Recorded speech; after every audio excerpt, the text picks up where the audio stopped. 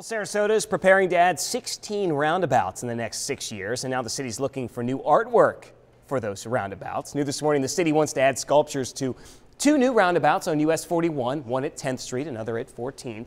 And the public will fund, the Public Art Fund will fund these artworks, now which will become part of the city's permanent collection, by the way. So if you know someone who's interested, someone very artistic, we have the details on how to submit artwork at abcactionnews.com.